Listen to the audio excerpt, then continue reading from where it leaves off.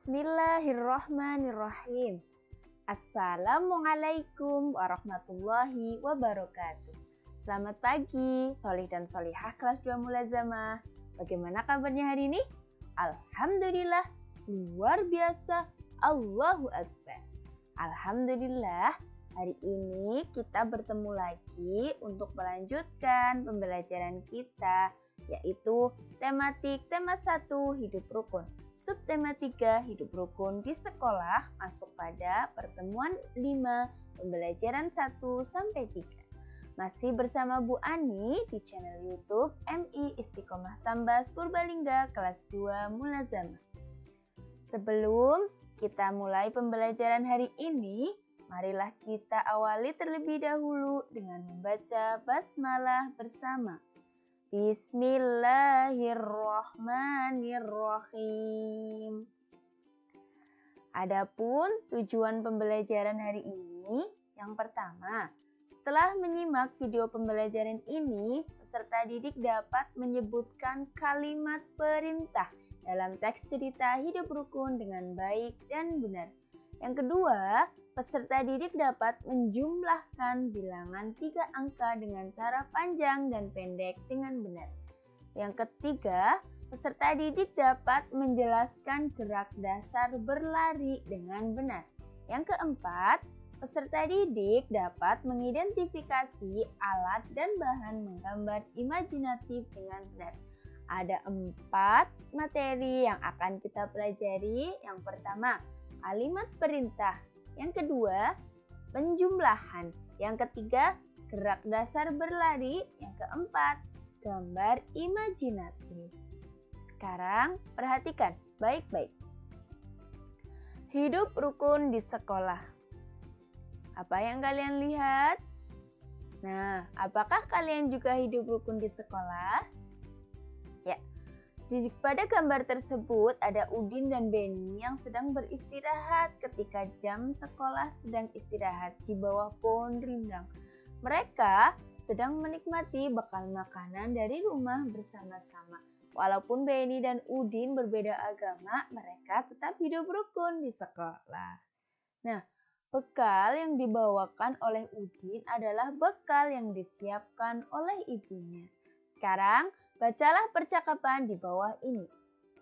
Ibu bilang ke Udin, bagilah bekalmu dengan teman-teman ya Din. Udin menjawab, baik bu, mengapa kita sebaiknya berbagi dengan teman bu? Lalu ibu bilang lagi, berbagi menunjukkan sikap rukun. Bawalah tempat bekalmu kembali ya. Nah, dari percakapan tersebut ada kalimat perintah. Ada yang tahu? Mana kalimat perintahnya? Dan apa itu kalimat perintah? Sekarang kita akan lihat bersama. Kalimat perintah. Kalimat perintah adalah kalimat yang berisi permintaan atau menyuruh orang lain untuk melakukan sesuatu yang kita kehendaki. Kalimat perintah biasanya diakhiri tanda seru atau diberikan akhiran lah. Kemudian Kalimat perintah sebaiknya diucapkan dengan sopan. Nah, berikut contoh dari percakapan yang sudah kita baca ada dua kalimat perintah. Yang pertama, bagilah bekalmu dengan teman-teman ya Din. Yang kedua, bawalah tempat bekalmu kembali ya. Nah, itulah kalimat perintah. Perhatikan baik-baik. Ada tanda seru. Nih di akhir kalimat. Kemudian eh, di pada kalimat perintahnya ada tambahanlah, bagilah, lalu bawalah. Itulah ciri-ciri dari kalimat perintah yang kita pelajari hari ini. Selanjutnya, kita akan belajar tentang penjumlahan, menjumlahkan bilangan cacah. Siswa di sekolah Udin cukup banyak. Ada 125 siswa laki-laki dan 117 siswa perempuan. Ada berapa jumlah siswa di sekolah Udin seluruhnya? Nah, kita dapat menghitung dengan cara penjumlahan, menjumlahkan. Lihat, banyak siswa laki-laki yang di atas ada 125, sedangkan banyak siswa perempuan ada 117. ratusannya sama, puluhannya ditempatkan di tempat yang sama, dan satuannya ditempatkan di tempat yang sama. Jumlahnya, lihat ada 5 tambah 7. Nah, ada angka 2 karena 12 menyimpan 1. Kita taruh ke sini, ada di sini ada tambahan 1 ya, alias 10. Nah, jadi ada 230 ditambah 10 dan 2. Kita lihat penjelasannya. Banyak siswa laki-laki ditambah banyak siswa perempuan sama dengan 125 ditambah 117 sama dengan 242. Jumlah siswa di sekolah Udin seluruhnya adalah 242. Lalu bagaimana cara penjumlahannya? Nah, penjumlahan dapat dilakukan dengan cara panjang atau cara pendek. Pertama, kita lihat cara panjang. Cara panjang. Ada 125 siswa laki-laki. 125 terdiri dari 100, kemudian puluhannya 20 dan satuannya 5 ditambah siswa perempuan 117 sama dengan 100 ditambah 10 ditambah 7. Kita lihat. Nah, dari belakang ya, 5 ditambah 7 sama dengan 12. Kemudian 20 ditambah 10 sama dengan 30. 100 ditambah 100 sama dengan 200. Kita rinci lagi. Ada 200 ditambah 30, kemudian 10 12 itu terdiri dari 10 dan 2. Lalu 200 ditambah Nah, 30 ditambah 10, 40. Duanya ditaruh di satuan. Jadi, 125 ditambah 117 sama dengan 242. Ini adalah cara panjang. Sekarang kita pakai cara pendek. Perhatikan baik-baik. Ada angka 125 ditambah 117. 5 ditambah 7 sama dengan 12. Tulis angka 2-nya. Nah, 2 ini satuan. Simpan satu puluhannya di atas angka 2. Ini namanya satu puluhan. Kita jumlahkan. 1 ditambah 2 ditambah 1 sama dengan 4. 4 ini adalah nilai puluhan. Kemudian karena 4 itu tidak ada menyimpan, kita lihat. Angka ratusannya 1 ditambah 1 sama dengan 2. Jadi kita lihat dari tempat rat nilai tempat ratusan, nilai tempat ratusan, puluhan, dan satuan. 125 ditambah 117 sama dengan 242.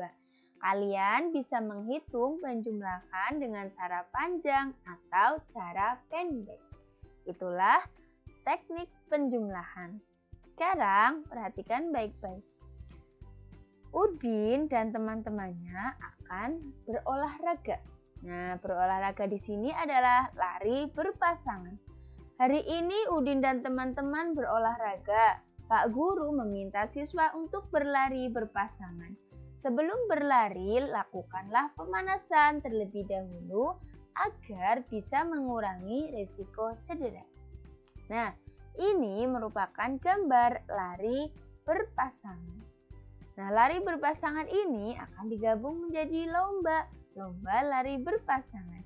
Itulah teknik lari berpasangan, jadi bisa lari pendek atau lari panjang yang sudah kita pelajari pada pertemuan 2. Nah, sekarang ada lomba lari berpasangan nah, dengan teman sebangkunya masing-masing. Berikutnya, para siswa akan menghias kelas dengan gambar. Hiasan berupa gambar benda-benda atau makhluk hidup yang ada di sekitar sekolah. Mula-mula dibuat sketsa gambar pada kertas menggunakan pensil. Ini adalah gambar sketsa menggunakan apa? Ya, gambar sketsa menggunakan pensil. Selanjutnya ada gambar yang sudah diwarnai.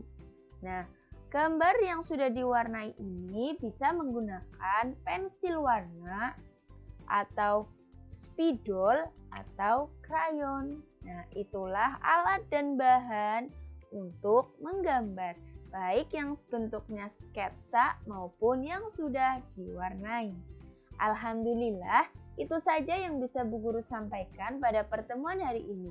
Adapun kesimpulannya, yang pertama, kalimat perintah biasanya diakhiri dengan tanda seru atau diberi akhiran kata lah. Menghitung penjumlahan bisa menggunakan cara panjang atau pendek. Kemudian, pemanasan sebelum melakukan olahraga sangat baik untuk mengurangi risiko cedera. Menggambar bisa diawali dengan membuat sketsa menggunakan pensil kemudian diberi warna. Bisa dengan krayon, pensil warna, ataupun spidol. Terima kasih, itu saja yang bisa Bu Guru sampaikan pada pertemuan hari ini. Seperti biasa, kita evaluasi tematik tema 1, subtema 3, pertemuan 5. Pembelajaran 1 sampai 3. Kamis 22 Juli 2021. Ada empat soal evaluasi. Nomor satu, kalimat perintah diakhiri dengan tanda titik-titik. Dua, di perpustakaan sekolah terdapat 181 buku pelajaran dan 126 buku cerita. Jumlah buku seluruhnya titik-titik. Nomor tiga, tujuan pemanasan sebelum olahraga dilakukan untuk titik-titik. Nomor empat, membuat sketsa gambar pada kertas menggunakan titik-titik. Silakan sekalian kerjakan seperti biasa di buku tulis kalian masing-masing dan hasil kerjaannya dikirimkan lewat WA ke Bu Guru. Terima kasih, itu saja yang bisa Bu Guru sampaikan pada pertemuan kali ini. Pesan Bu Guru, jagalah kesehatan di mana pun kalian berada dan syukur-syukur kalian tidak melakukan mobilisasi, jadi kalian di rumah saja. Semangat belajar di rumah, selamat membaca dan menghafal Al-Quran serta murojaah bersama kedua orang tua. Dan pesan bu guru yang terakhir, tetap semangat belajar, jangan pernah e, luntur. Karena belajar itu dari kalian hidup sampai nanti kita mati.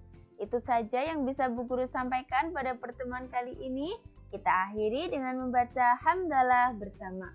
Alhamdulillahirabbil alamin. Kurang lebihnya Bu Guru mohon maaf. Wassalamualaikum warahmatullahi wabarakatuh.